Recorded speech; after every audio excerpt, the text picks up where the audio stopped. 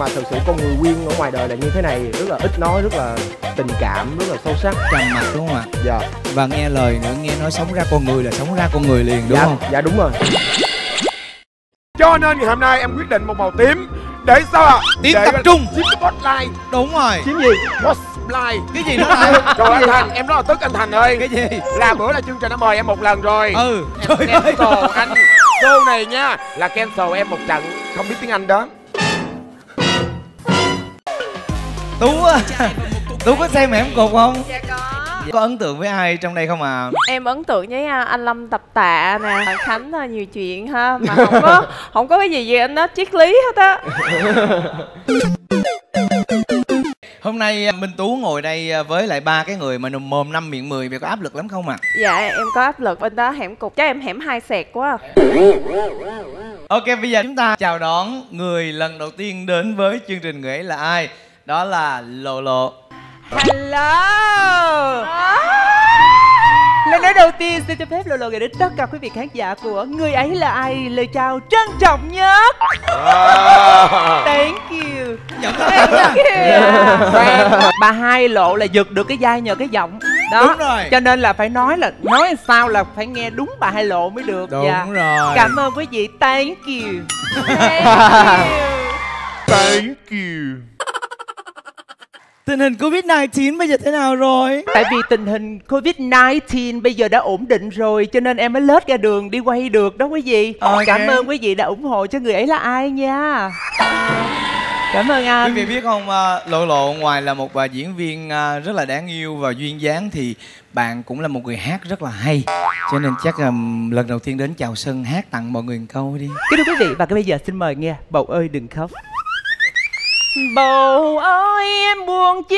Những lời người ta gieo buồn đau. Họ nói xong rồi họ có bao giờ sống thay mình đâu.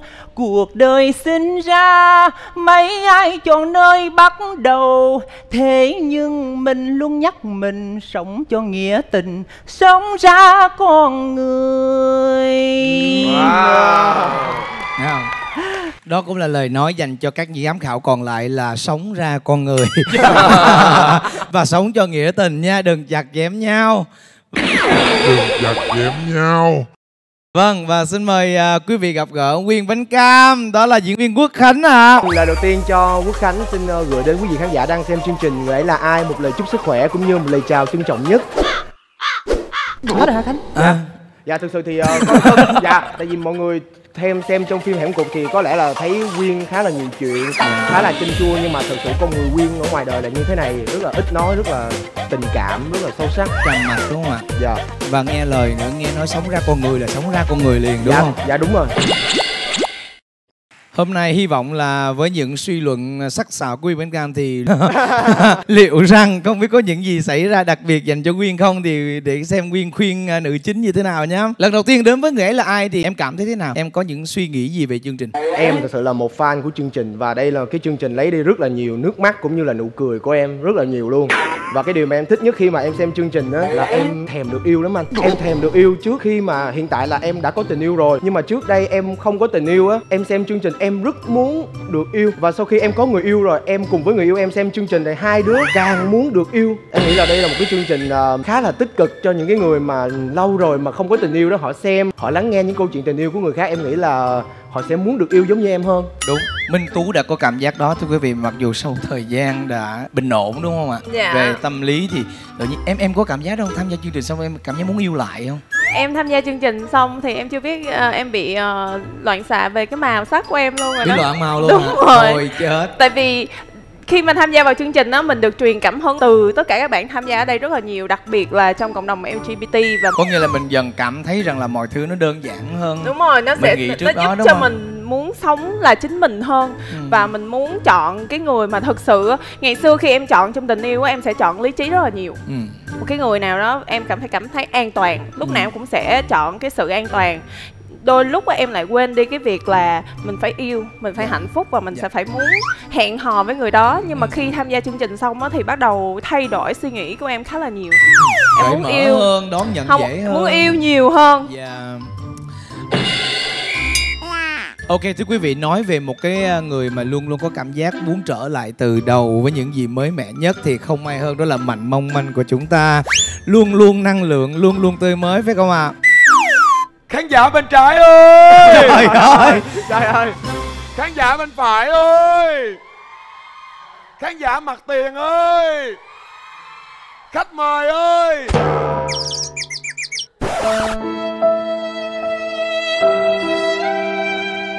Tới giờ này mà còn ở ngoài sân ngoài bãi nữa thiệt tức thiệt á cha vô tới đây rồi.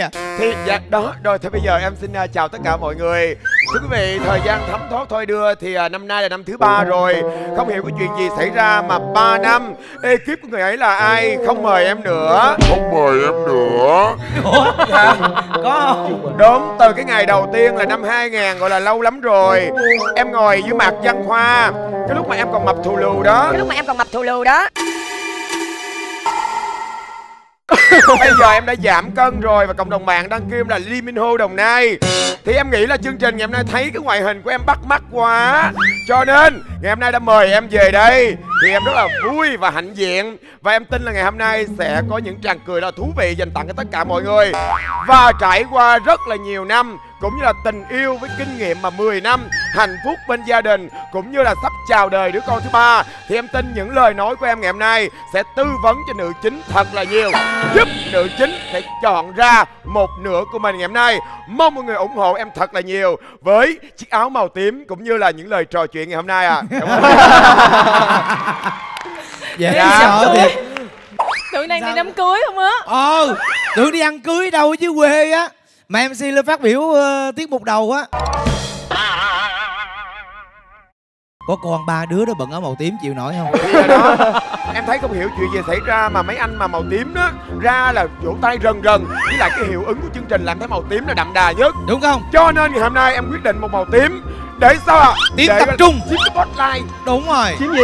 Spotlight. Cái gì nữa này rồi anh? thành em rất là tức anh thành ơi. Cái gì? Là bữa là chương trình đã mời em một lần rồi. Ừ. Tự nhiên đến gần ngày quay tiên tập đó cái bạn quà đó và nói anh Lâm ơi hôm nay là nữ chính khách mời là người nước ngoài họ giao tiếp bằng tiếng Anh thôi. Cho nên em thấy gọi là anh gọi là không có vốn tiếng Anh cho nên em Trời cancel anh. Show này nha là cancel em một trận không biết tiếng Anh đó bữa bé đó người pháp em. Thì đó. cho nên có biết tiếng anh thì cũng giúp ích được gì đâu. Vậy mình ở đồng nào cancel em. Cancel.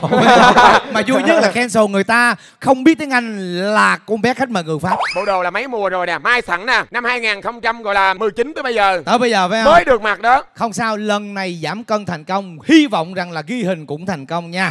Tím spotlight nha. Tôi spotlight. Đọc lại coi tím spotlight nè. Chiếm boss light về luôn đây luôn xe. Đây Người ấy là ai?